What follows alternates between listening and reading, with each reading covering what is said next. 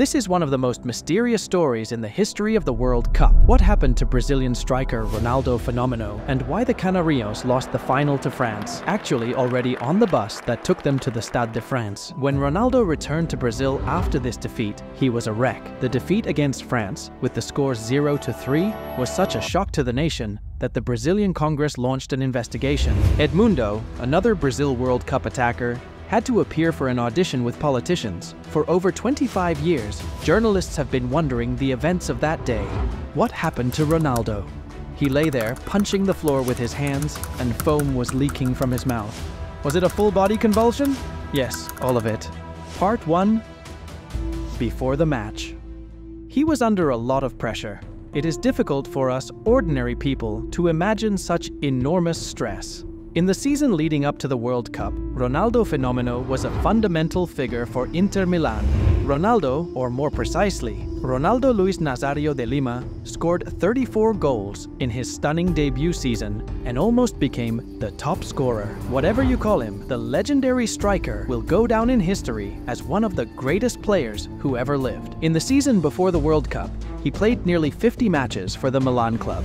Additionally, matches with Canariños, and all matches during the World Cup. Six matches of 90 minutes and one semi-final with the Dutch national team when he was on the pitch for 120 minutes and in a series of 11s. He was 21 years old then, and throughout the year, he was subjected to enormous pressure and his body was overworked. Before the final, he was treated for a knee injury and given painkillers. This mixture, the enormous pressure of expectations and physical exhaustion, literally knocked him to the floor. It was Roberto Carlos who first noticed the young Brazilian's panic attack, and then later convulsions, that is involuntary, violent muscle contractions, causing strong vibrations of the entire body, accompanied by loss of consciousness. He quickly ran out of the room and shouted that a doctor was needed. Before the Brazilian national team doctor found himself in the room where Ronaldo was lying on the floor and experiencing a personal tragedy, the biggest star of the Canarios national team was already helped by Edmundo and Cesar Sampaio, because they pulled out his tongue to prevent him from choking. If they hadn't done this, Ronaldo would probably have died. The director of the hotel where the Brazilians were staying commented recalling that there had never been such an uproar there before. He mentioned that someone had yelled, He's dead, he's dead. Mario Zagallo, who was then the coach of the Brazilian national team, made his decision immediately. Ronaldo will start the match on the bench. We rely on Edmundo. Information about Ronaldo's absence was made public, which caused great surprise to journalists from all over the world.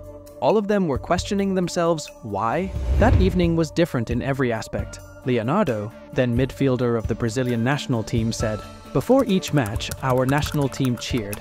We were overjoyed as we drove to the stadium. The drums, tambourines, guitars, and singing were everywhere. Ronaldo was the main character of the party. But that evening we drove in complete silence. No one thought about singing. Everyone was terrified. In my opinion, it was clear there that we would lose the World Cup final. Part 2 Why did Ronaldo appear on the field? First theory According to Brazilian investigative journalists, the then president of the Brazilian Football Federation, Ricardo Teixeira, burst into the locker room and ordered the young player to play. He was infuriated because two years earlier, Nike had signed a record contract with the Brazilians for $150 million. Nike relied heavily on this collaboration, and the company itself may have hinted at Star Canariños' inclusion in the starting lineup. According to journalists, Teixeira said directly, Ronaldo must play. The coach had no other choice. The player looked terrible during the match. He didn't look like that outstanding 21-year-old on whom the eyes of the whole world were focused. After the match ended with a score of 0 to 3, Ronaldo pointedly took off his shoes and hung them around his neck, exposing the Nike logo, as if to suggest to us some hidden meaning behind the whole matter. I leave further thoughts to you. Second theory, Brazil allegedly sold the match to the French for 15 million pounds.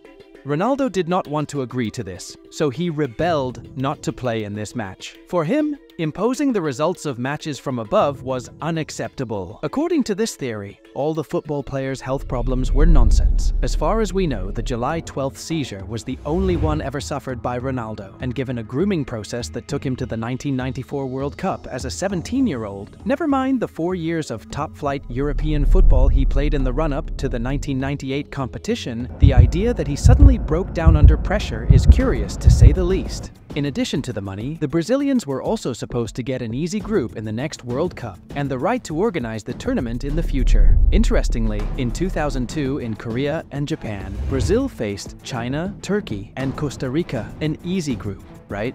They also organized the World Cup in 2014. An interesting coincidence, what do you think? What version of events does Ronaldo tell? The footballer believes that the health problems were real, and he himself asked the coach not to play from the beginning of the match. Only 40 minutes before the whistle, he changed his mind and asked to play in the first team.